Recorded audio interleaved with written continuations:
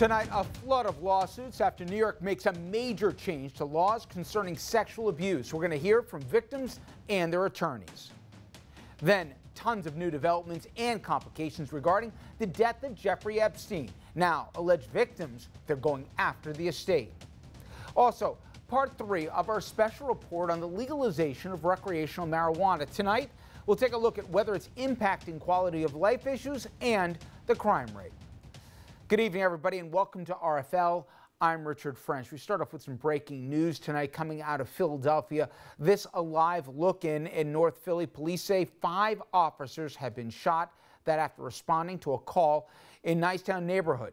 Now, they have been brought to area hospitals. Their conditions not considered life threatening. Police say it is an ongoing and active situation that was part of a narcotics bust. We'll continue to keep you posted. Now onto Wall Street where stocks, they were hammered today. The Dow plunging 800 points. That is some new flash a major warning sign about a possible looming recession. And there are new fears about a global slowdown after China and Germany show new signs of real trouble. Plus, the U.S. trade war with China, that's not helping markets as uncertainty remains. In the meantime, a major new law has just taken effect in New York State and is prompting a flood of civil lawsuits over sexual abuse cases. The Child Victim Act, it just kicked in at midnight, this past midnight, and it opens a one-year window for victims to file suits against people and institutions accused of abusing them. And it doesn't matter how long ago the abuse happened. Fios One's Ray Ramundi, he has more. It, it, was like clockwork with him. It was the same thing every time. He'd make you sit on his lap and face him and fondle you and worse. For child sex abuse survivor Rich Klein, August 14th has been a date he's been waiting for for over five decades. For myself and for many of the victims, it's an opportunity for justice.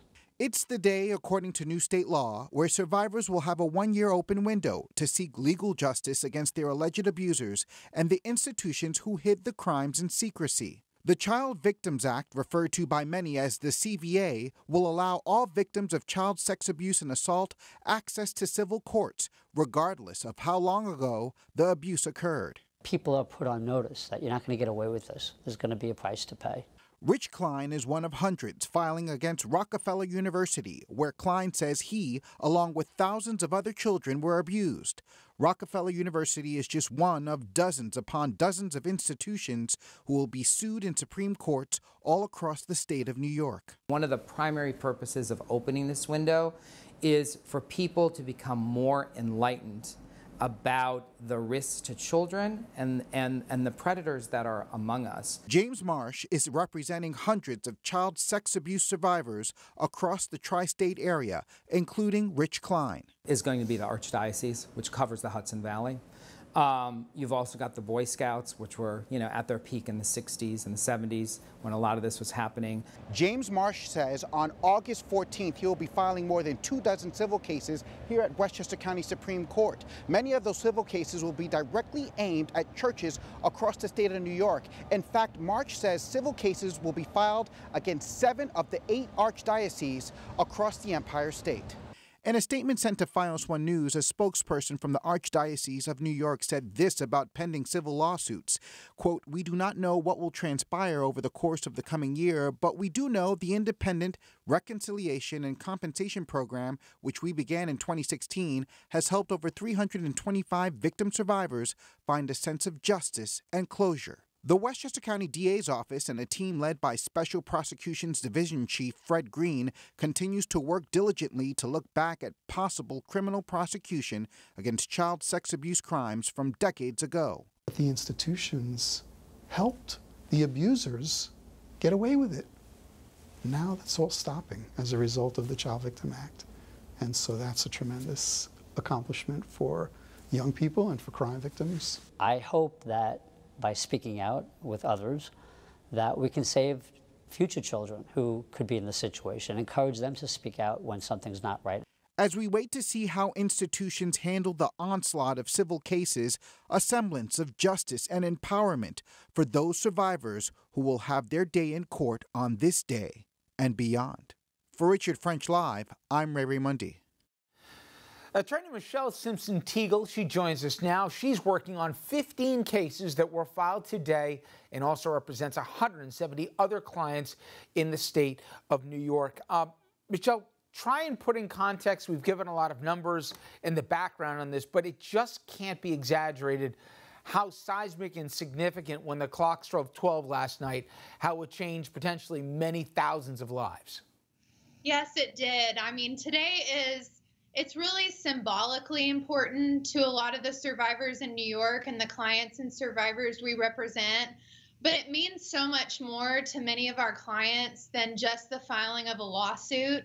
Because what the Child Victims Act and these lawsuits really allow is for our clients to finally get information and for the curtain to be pulled back and for these institutions and abusers to finally be held accountable. So it's a lot, it's about a lot more than just the lawsuits. We understand uh, that the New York State court system has set aside 45 judges just for what they expect to be a wave of suits. Um, do you think that's only a fraction of the judges that will be needed here, considering some of the, the cases we've talked about where they could come from, not just as it relates, obviously, to the Archdiocese. You have um, uh, Rockefeller University, as we talked about, Boy Scouts, Jehovah Witness. The list goes on and on organizationally, forgetting even individually. Um, do you believe the system is going to be prepared to handle for what's now coming down the pike? I do believe that the judges know what they're doing. I mean, New York is a state that has handled a lot of highly complex and voluminous litigation. And so I think they have mobilized and they will continue to be fluid as we figure out exactly how many cases are coming in.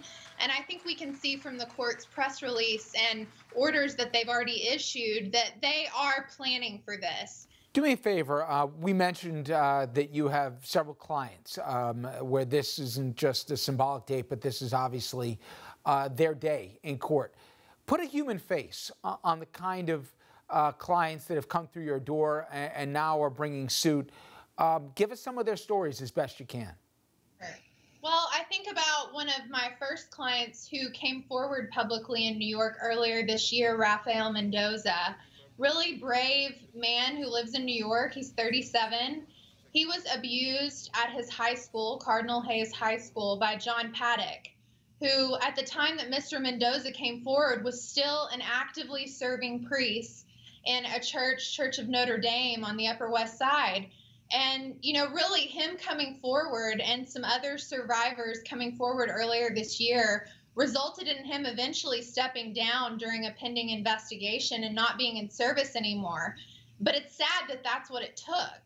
You know, one of the things uh, I'm not so sure people on the outside know is you had people who came forward. I'm sure to even yourself, Michelle, who said, I have a story to tell. I want to come forward. And you would have had to in the past tell them, sorry, the statute of limitations has lapsed. Um, you won't have your day in court. This look back, I'm, I'm curious, did you go back to certain people and say, I know we before said you couldn't do anything because the law stipulated that the window had closed, but the window's open again. Um, let's reinvestigate where we can go from here. Uh, were some of the conversations people not just knocking on your door, but you going back to people that you couldn't have helped in the past but now can? We've definitely had those conversations. My least favorite conversation are the ones where I have to say, I can't help you right now but the best conversation are the ones where we've been able to go back, just like you said, reach out to people who we had had contact with, who had wanted to move forward with some sort of a lawsuit or legal case. And we get to tell them that you have your right now. We can move forward. And and that is both a hard thing, but a really can be a very healing process for the clients.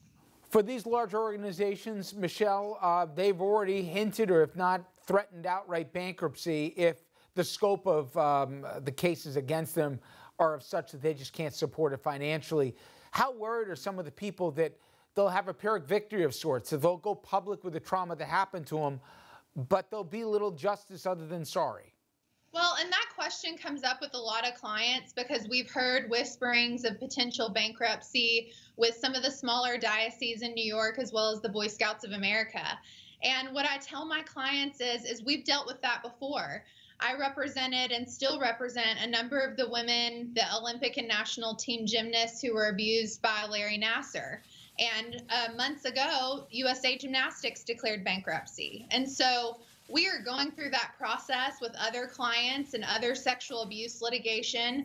And what I can tell you from that experience and from other experiences is that is not the end of the road. People hear bankruptcy and they think, I'm not going to get any justice, or I will never get the information or have my day in court. But what I'm seeing through the process of bankruptcy, which I've been really involved in in the gymnastics cases, is that you still have a right to information, you have a right to justice, they have a right to hearings and trials. And does it slow down the process? And would, would we prefer not to go there? Of course. But it is not uh, the end of the road, and we can still get them justice and answers, even if we have to go through the bankruptcy process. Well, you have, um, I'm sure, a very busy year plus ahead of you. Uh, but Michelle, I appreciate the time you were able to give us today. Best of luck. We appreciate it. And discuss where these suits go from here, let's bring in Doug Von Oiste. He's a founding partner of Carson Von Oiste, focusing on corporate misconduct, also selected by Legal 500 as one of the most influential trial lawyers in the nation. And Doug, it seems that there's windows in time where there is um, not just a case, but an epidemic of something that captures the nation's attention. It captures lawmakers. Um, obviously, we saw in Albany, they, have literally changed the law in terms of statute of limitations and this look back. Um, but is the law almost catching up to the new, not just Me Too generation, but now an acknowledgement that there was horrific sexual assaults that took place, sometimes abetted by organizations, um, national organizations at that and how the prosecution of this is, it's almost seeming like a race to the courthouse door. Clock strikes midnight and everybody starts filing. Um, is the system prepared to handle it? Well, I think the system is getting prepared to handle it. Apparently, they assigned a lot of judges that are going to step in and handle these cases exclusively.